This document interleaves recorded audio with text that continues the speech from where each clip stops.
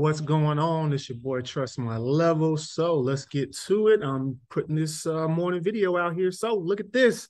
So right now, um, just looking at what ES is doing, they're about 36, no, 37.66. So we had a $77 move over the night with the high of 37.76. So um, yeah, we, we they had a, a beast of an evening for uh, ES in the future. So uh, we're gonna see what's going on with SPX here this morning because whew, I guess they're trying to get up 3,800 again, and I'm gonna have some 3,800 calls ready to go, and I might have some 3,700 puts ready to go. I mean, you know, hey, because 3,700, whew, that's crazy.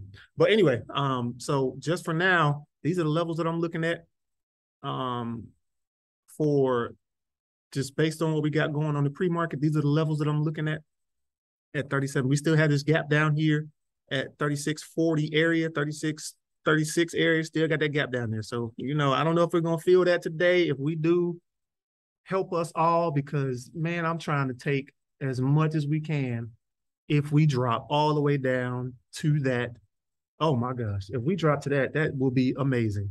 That's why I'm gonna think. I think I'm gonna get those 3700s also, just in case, just in case. Um, so now we have a gap up this morning. We're gapping up potentially up to 3650 for SPX. So 3650 is what I'm looking at for SPX, potentially for a gap up.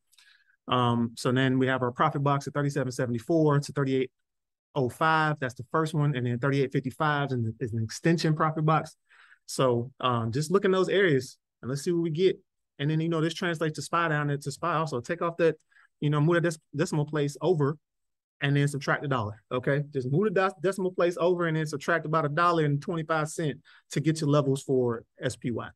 So um, we're going to keep watching this. Um, uh-oh, get that down. So let's get it. If you got any questions, you can find me in the Discord. You can just hit me up. You can find the link in the bio all of that, and we will get your questions answered. Or type an answer at the type a question at the bottom of the uh, of this video. So you got any questions, let me know. And I will see y'all later on. Have a good trading day. Be safe. Don't do anything I wouldn't do.